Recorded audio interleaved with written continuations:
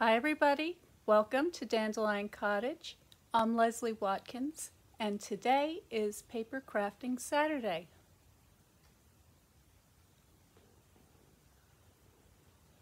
So the earlier last week or this beginning of this current week the new catalogs went live and I'm talking about the Stampin' Up! catalogs. And this is what it looks like. And today I want to bring a particular suite to your attention, which is the Dandy Garden Suite. And the reason I like this one is because first of all it has dandelions in it, so who doesn't love dandelions, right? And it has this wonderful designer series paper in this terrific palette of colors. So if you, when you get your catalog, when you see a little box like this that has a strip of the different colors in it, that tells you what colors coordinate with the DSP or the designer series paper. And this is a, um, a big suite. So oftentimes a suite will have a stamp set and maybe some dies or a punch. This one actually has two. So there is the, let's see what that's called. This is the Garden Wishes bundle and I can show you what that looks like. So it's this stamp set that features all these beautiful dandelions and it comes with these dies when you get it in a bundle. When you bundle the two things together you also save 10%. So that's the Garden Wishes and the Dandy Wishes dies. And then the second suite is the one that I'm going to be working with today is the Dandy Garden stamp set which has these wonderful dragonflies. And this one is bundled with a punch. So this is called the Dragonflies Punch, and there is a large dragonfly and a little one. And then you have your choice of all of these other things. If you, if you get the entire suite, you get everything that's on this page, or you can go a la carte and just get the things that you want. I recommend at least go for the bundle, one of the bundles, because that way you do get that extra 10% off.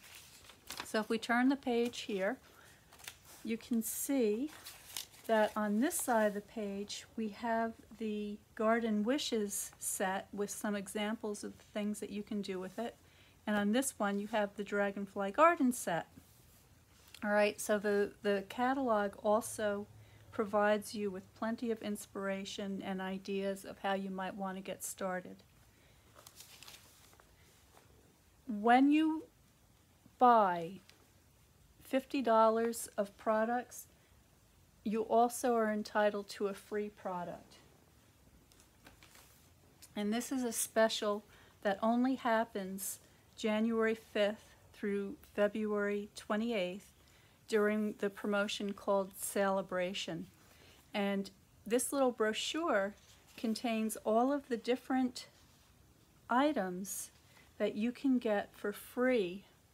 So if you read here, you'll see free with a $50 purchase, free with a, a $50 purchase, and the whole book is just jam-packed with stuff. So these are these are other things, and then they're on on some of the items, for instance this one, you can get both a stamp set and the papers for a $100 purchase. So if you'd like to look at these things more carefully, let me know that you'd like some catalogs and I'd be happy to send them to you. And the way you do that is by going to my website at dandelioncottagedesign.com and go to the uh, tab where it says notes and when you sign up for notes which is my newsletter and that's completely free it comes to you at the beginning of each month and it just lists all of the classes that I have that are offered for that particular month you'll find an option for catalogs. And I'm going to post that link below too, so you can just click on that link. So today I want to show you just basic card making. I've got my trimmer here and I've selected some papers. So I've got some white cardstock for my card base.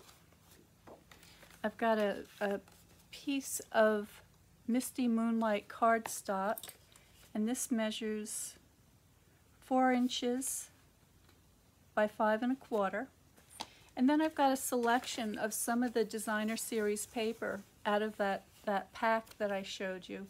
And, um, and I just wanted the Misty Moonlight because to keep things simple today, I'm just going to do a quick monochromatic demonstration of how you can put a very simple card together and get very elegant and professional looking results. It's really easy. So the first thing I'm going to do is to cut down my card base. Now I think in this instance I want the top of the card to, to be hinged, so a tent fold card. So the first thing I'm going to do is I'm just going to score the top. So if I put this at five and a half, that's the middle of the paper, and I just use this lighter colored tab, I can make a score line and then flip it around a quarter turn and then I'm going to cut it at four and a quarter. And that's going to give me two card bases. And that score line is going to give me a nice crisp fold.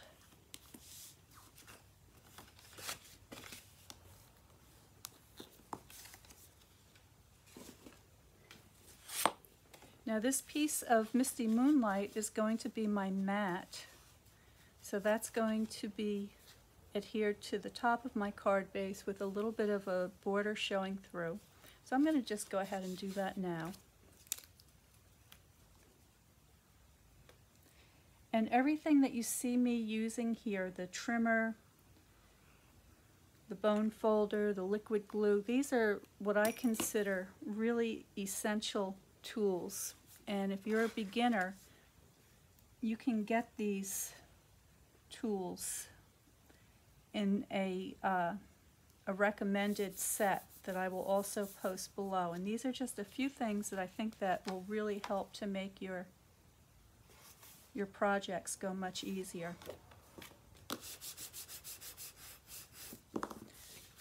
Okay, so there's our the front of our card with our first layer. And the next thing I want to do is, because this paper is so pretty, I want to create a layered effect.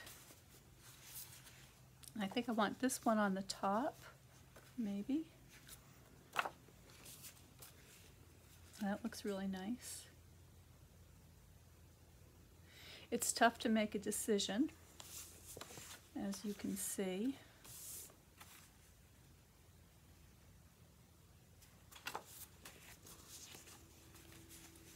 I'm going to go with this one this time. So what I'm going to do is simply cut down the layers just a quarter inch smaller than the previous layer. So this one would be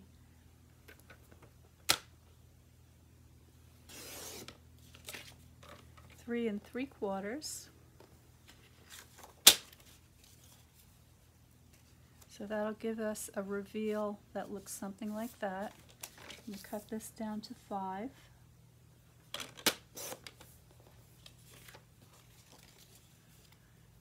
All right, and now this one, I think I want to have a little bit more of that second layer showing. So this time I'm going to jump by half an inch. So instead of it being three and a half, I'm going to make it three and a quarter here.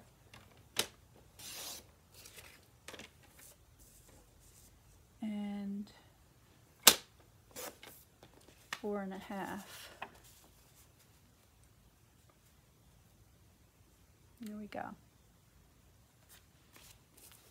And I'm going to save all these scraps because these can be used for other projects.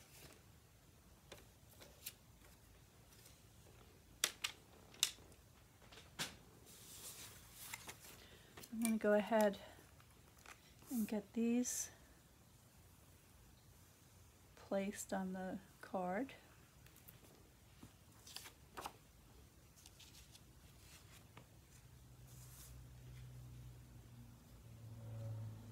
a little bit of an optical illusion going on here with the stripes.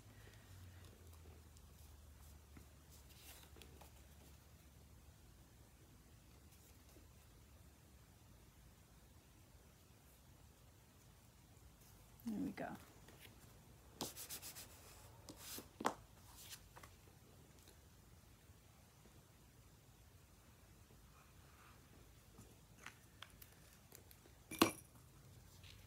All right, so putting the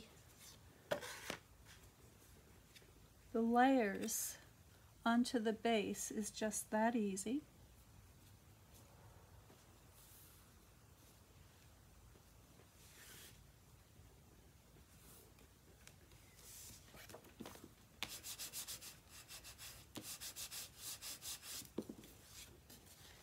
And now we're ready for the decorations and the sentiment.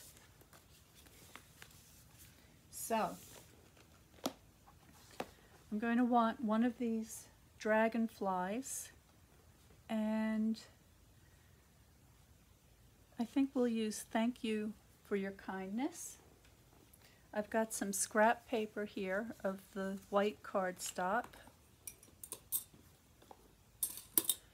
And I have a stamp pad or an ink pad of Misty Moonlight, which is the exact color that we've been using so far. And I'm going to grab a, a block and I'm going to use this dragonfly with the filled in body.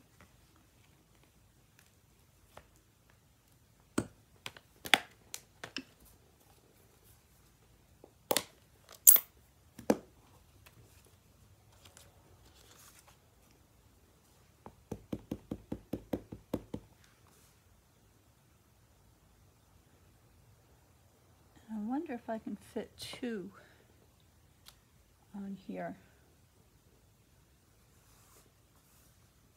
Probably not. Okay. All right, so there's my dragonfly, and then I need another stamp, and this is going to be for the sentiment.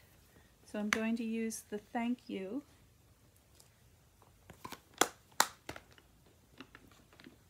And another block.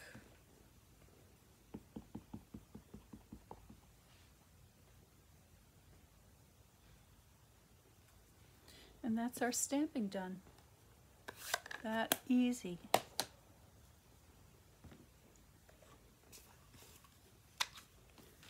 All right, so let's punch our dragonfly out.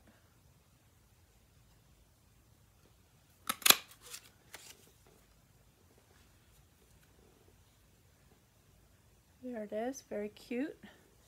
And I'm going to bring in another punch, and this is from the annual catalog. This is we also have a great big catalog that has everything in it.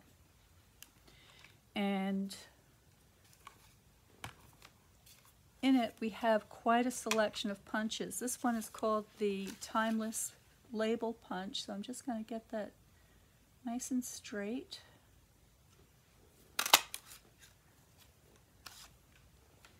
And that's the punching done. And it's going to come together very fast now.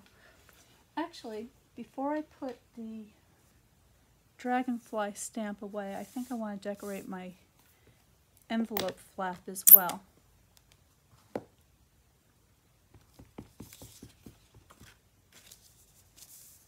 And I'm just going to line that up. And while I'm at it, I'm going to add another one inside the card too.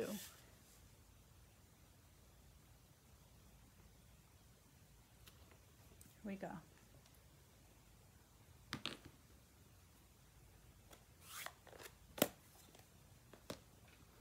Now before I put my dragonfly on the card, I want to give him a little extra sparkle. So I'm using my Wink of Stella. And I'm just going to add a little bit of iridescence. put that all over.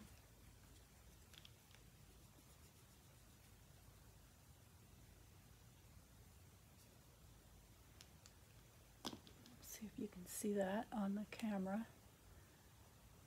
A little bit. You see it's picking up the light.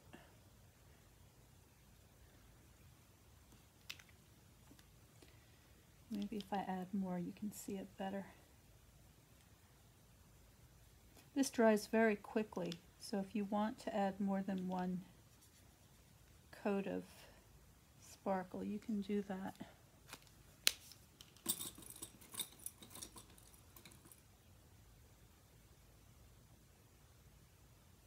I think you can see that. I'm just going to bend up its wings so it has a little more dimension. All right, now I have in front of me here some some dimensionals, and let me see if I can find my mini dimensionals. Those are black. All right, so here's some, I'm grabbing some mini dimensionals for the dragonfly. And actually what I've done is I've already cut out some tiny strips. So you'll see along the edge of the package here, I just trimmed some long narrow strips. So I'm going to use one of those for the tail of the dragonfly. And another one near the head. It's good to go. And then I'm going to take two of my, let's see if I've got one opened already. It doesn't look like it. So here I'm going to get two of these dimensionals to pop up my sentiment.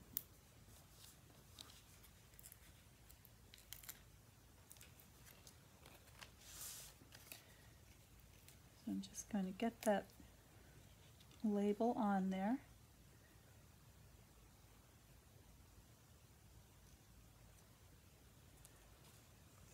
Peel off the backing, my dragonfly.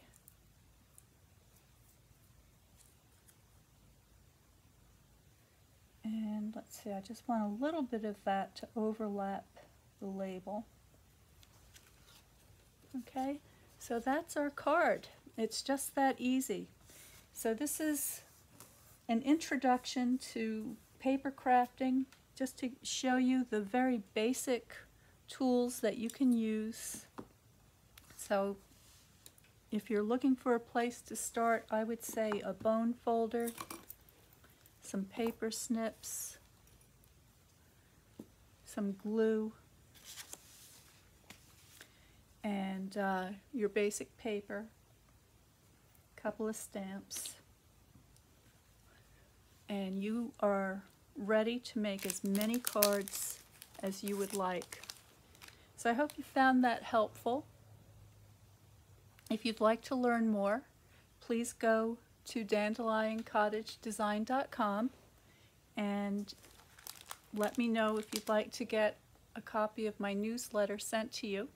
Today is the last day to register for classes and if you're interested in joining me in one of my beginning classes for either watercolor or paper crafting, I'd love to have you. And when you get your copy of notes, you'll be able to see all of the various listings.